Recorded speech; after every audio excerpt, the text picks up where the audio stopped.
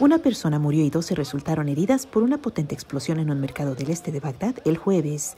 Un funcionario de la policía dijo que la explosión en el distrito de Sadar City fue causado por un coche bomba. Nadie se adjudicó la responsabilidad del ataque.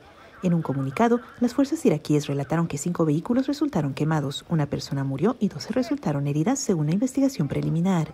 El estallido ocurre poco después de un ataque con dron contra tropas de la coalición multinacional cerca del aeropuerto de Irbil y otro en una base militar turca en el norte del país. Las explosiones en la capital iraquí se han vuelto menos frecuentes en tiempos recientes, particularmente desde la derrota en el 2017 del grupo que se hace llamar Estado Islámico. En enero, dos bombas devastaron un mercado, matando a más de 30 personas y dejando heridas a muchas más.